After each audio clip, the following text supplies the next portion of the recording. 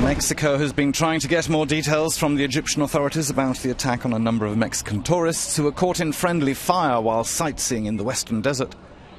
There's some confusion about how many of the 12 dead were Mexicans, but there's no confusion about what happened. The Egyptian army mistook the tourist convoy for terrorists.